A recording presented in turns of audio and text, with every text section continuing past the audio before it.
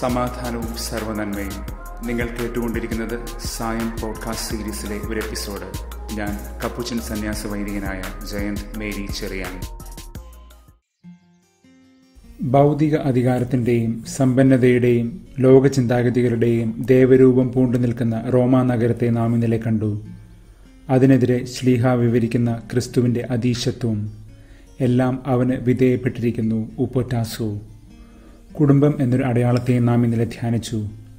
ഇന്ന് ഏറ്റവും പുരാതനമായ ക്രിസ്തീയ കൃതിയായ തെസലോണിയർക്കെഴുതിയ ഒന്നാം ലേഖനത്തിലേക്ക് നാം കടക്കുമ്പോൾ വീണ്ടും ഈ രണ്ട് പ്രമേയങ്ങൾ തന്നെ കടന്നു വരികയാണ്. കുടുംബങ്ങളെ സൂചിപ്പിക്കുന്ന പദങ്ങൾ ഫെമിലിയൽ മെറ്റഫർ ഏറ്റവും അധികം കടന്നുവരുന്ന ലേഖനമാണിത്. നാലിലൊന്ന് വാക്യത്തിൽ സഹോദരർ അഡൽഫോയ് എന്ന് കാണാം. പിതാവ് മാതാവ് അനാഥർ കുഞ്ഞുങ്ങൾ മുതലായ രൂപകങ്ങളിലൂടെ സ്ലിഹ ആത്മീയ ബന്ധങ്ങളെ അടയാളപ്പെടുത്തുകയും ചെയ്യുന്നു. പിതാവായ ദൈവത്തിൽ എൻ തെയോ ഈ പാത്രി എന്നൊരു പ്രയോഗം ഈ ലേഖനത്തിന്റെ ആദ്യ ഭാഗത്തും മറ്റൊരു ലേഖനത്തിനും മാത്രമേ നാം കാണുന്നുള്ളൂ. ഒന്ന് തെസലോണിയർ ഒന്ന് ഒന്ന് രണ്ട് തെസലോണിയർ ഒന്ന് ഒന്ന്. സാധാരണയായി ക്രിസ്തുവിൽ എൻ ക്രിസ്തു എന്നാണ് സ്ലിഹ പറയാറ്.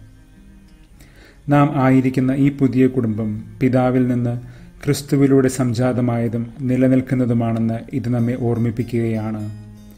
ഇന്നലെ നാം ശ്രദ്ധിച്ചതുപോലെ ഭൂമിയിലെ എല്ലാ കുടുംബങ്ങളുടെയും പിതൃത്വങ്ങളുടെയും കാരണമായ ദൈവപിതാവ് എഫ് എ സിയർ മൂന്ന് പതിനഞ്ച്. തിരഞ്ഞെടുക്കപ്പെട്ടവർ എക്ലോഗെ എന്നാണ് പൗലോസ് തെസലോണിയരെ വിളിക്കുന്നത്. റോമർ ഒമ്പത് മുതൽ പതിനൊന്ന് വരെ അധ്യായങ്ങളിൽ പഴയ ഇസ്രായേലിനെ ദൈവം തിരഞ്ഞെടുത്തത് വിവരിക്കാൻ മാത്രമാണ് ഈ പദം വേറെ ഉപയോഗിക്കുന്നത്. അതിനാൽ ഇവിടെ ശ്രീഹ പുതിയ ഇസ്രായേലിന്റെ തിരഞ്ഞെടുപ്പിനെ തന്നെയാണ് കുറിക്കുന്നത് എന്ന് വേണം കരുതാൻ. ഈ തിരഞ്ഞെടുപ്പ് അത് തികച്ചും ദൈവിക പ്രവൃത്തി മാത്രമാണ് നമ്മുടെ യോഗ്യതകളാലല്ല ഇന്നലെ നാഥൻ പറഞ്ഞതുപോലെ പിതാവിനാൽ ആകർഷിക്കപ്പെടാതെ ആരും ക്രിസ്തുവിന്റെ ചാരയണയുന്നില്ല. യോഹന്നാൻ ആറ് അറുപത് മുതൽ. മറ്റൊരു സവിശേഷ പ്രയോഗവും നാം ഇവിടെ കാണും കൃപയും സമാധാനവും എന്ന പദസഞ്ചയത്തിലൂടെ. ഈ ഭൂമിയിൽ നമുക്കുള്ള സമാധാനം അത് ദൈവകൃപയാലാണ്. സാമ്രാജ്യത്തിന്റെ നിയമങ്ങൾ അടിച്ചേൽപ്പിക്കുന്നത് കൊണ്ടല്ല വരുന്നത്. ദൈവിക നീതിയെ പുണരുന്നവൻ ദൈവിക സമാധാനം തീർച്ചയായും അനുഭവിക്കും. തെസലോനിക്ക റോമ സാമ്രാജ്യത്തിന്റെ മകുടത്തിലെ ഒരു ശോഭിത നക്ഷത്രമാണ്. ചിന്ന റോമ എന്ന് വേണമെങ്കിൽ അതിനെ കരുതാം. റോമൻ ചക്രവർത്തിമാരെ പൂജിക്കുന്നതിൽ അവർ മുൻപന്തിയിലായിരുന്നു. അത്രമേൽ കറതീർന്ന രാജഭക്തർ. റോമൻ നഗരവ്യവസ്ഥകളും കുടുംബ വ്യവസ്ഥകളും ദേവന്മാരും ആഴത്തിൽ പ്രതിഷ്ഠ നേടിയ തെസലോണിയൻ ദേശം. അവിടെയാണ് ദൈവനഗരത്തിന്റെയും ദൈവകുടുംബത്തിന്റെയും സത്യദൈവത്തിന്റെയും വജസ്സുകളുമായി ശ്ലീഹ എത്തുന്നത്. അതിനാൽ അവന്റെ സുവിശേഷ പ്രഘോഷണത്തെ അവർ ദേശദ്രോഹം സെഡീഷൻ ആയി കരുതിയിരിക്കാനും സാധ്യതയുണ്ട്. അവൻ പ്രസംഗിച്ച ക്രിസ്തീയ നവക്രമം സാമ്രാജ്യത്തിന്റെ അടിത്തറ ഇളക്കാൻ പോകുന്നതായിരുന്നു. ഇന്നലെ നാം അത് ശ്രദ്ധിച്ചിരുന്നു. പഴയ കുടുംബ വ്യവസ്ഥകളെയും കുലദേവതകളെയും ഉപേക്ഷിച്ച് സത്യദൈവത്തിലേക്കും പുതിയ കുടുംബക്രമത്തിലേക്കും ഇന്നലെ നാം കണ്ട ഹൗസ് സ്റ്റാഫിൽ വരുന്നത് തെസ്ലോനിയെ സംബന്ധിച്ച് രാജനിന്ദയാകും. അതുകൊണ്ടാണല്ലോ സീസറിന് മേലെ ക്രിസ്തുവിനെ രാജനായി പ്രതിഷ്ഠിക്കുന്നു എന്ന് ആക്ഷേപിച്ചുകൊണ്ട് തെസലോനിയർ പൗലോസിനെ ആക്രമിക്കാൻ തുനിഞ്ഞത്. അപ്പോസ്തല പ്രവർത്തനം പതിനേഴ് ആറ് മുതൽ. ഈ ലേഖനത്തിലൂടെ ശ്രീഹ പറയാൻ ആഗ്രഹിക്കുന്നതും ഇതുതന്നെയാണ് സുവിശേഷത്തിന്റെ പുതിയ ജീവിതക്രമത്തിലേക്ക് വരുമ്പോൾ പീഡകളും മർദ്ദനവും ബഹിഷ്കരണവും നമ്മെ കാത്തിരിപ്പുണ്ട് നിശ്ചയം.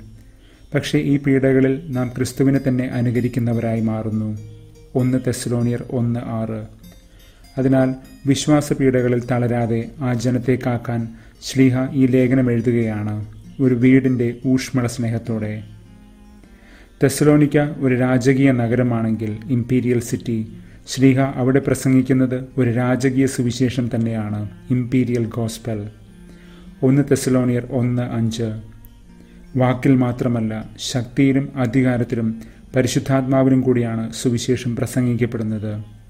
സുവിശേഷം എവാങ്കേലിയോൺ റോമൻ സാമ്രാട്ടുകളെ ദേവന്മാരെന്ന് കരുതിയിരുന്ന ആ സംസ്കാരത്തിൽ ഈ സാമ്രാട്ടുകളുടെ ജനനത്തെയാണ് സദ്വാർത്ത സുവിശേഷം ഇവാങ്കേലിയോൺ എന്ന ചരിത്രകാരന്മാർ രേഖപ്പെടുത്തുന്നത്.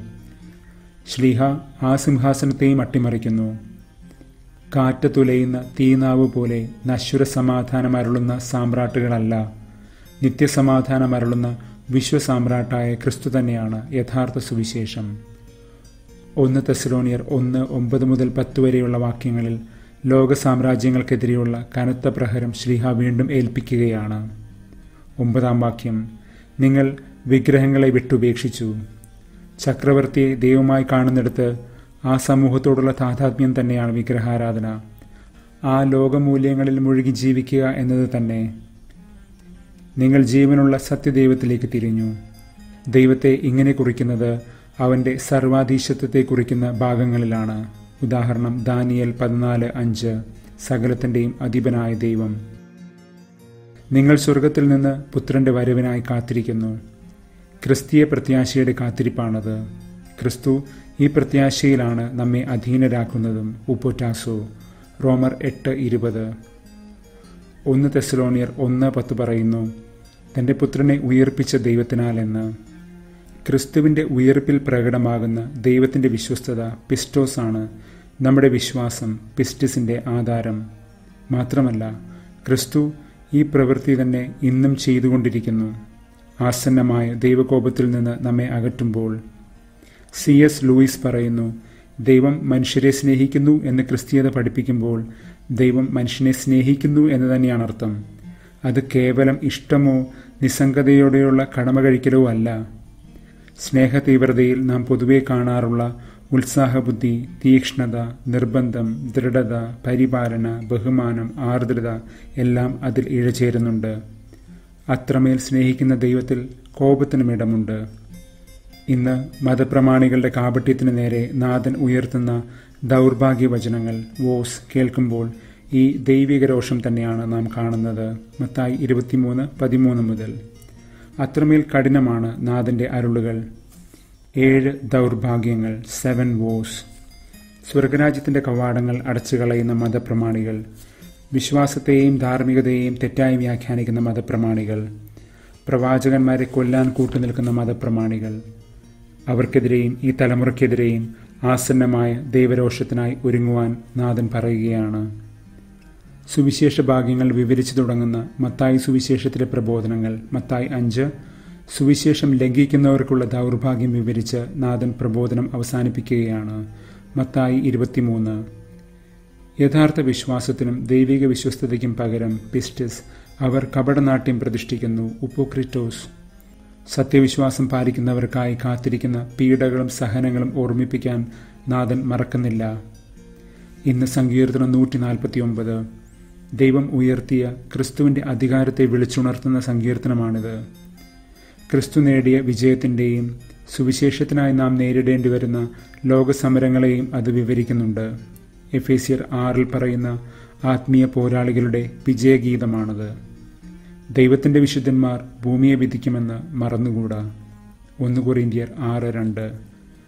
ഇന്ന് നാം തിരുനാൾ ആഘോഷിക്കുന്ന ലീമായിലെ വിശുദ്ധ റോസ പറയുമായിരുന്നു ക്ലേശങ്ങളുടെ ഭാരം കൂടാതെ കൃപയുടെ ഉന്നത ശൃംഗങ്ങൾ കയറുക അസാധ്യമാണ്. ക്ലേശം വർദ്ധിക്കുമ്പോഴാകട്ടെ കൃപാദാനവും വർദ്ധിക്കുന്നു.